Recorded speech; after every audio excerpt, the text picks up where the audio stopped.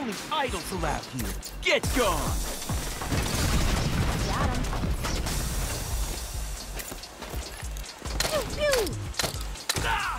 Take these tools off me. Us idols will take you on.